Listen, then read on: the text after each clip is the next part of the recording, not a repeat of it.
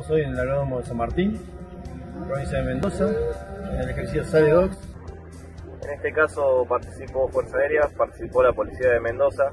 Eh, la idea era desplegar al personal de los subcentros, tanto de Córdoba, de Mendoza y el personal del RCC de Seiza. Personalmente a mí me tocó ser coordinador de aeronaves, que, que se encarga de guiar a las aeronaves dentro de la zona de búsqueda. Bueno, gracias a Dios salió todo bien y muy contento de haber participado.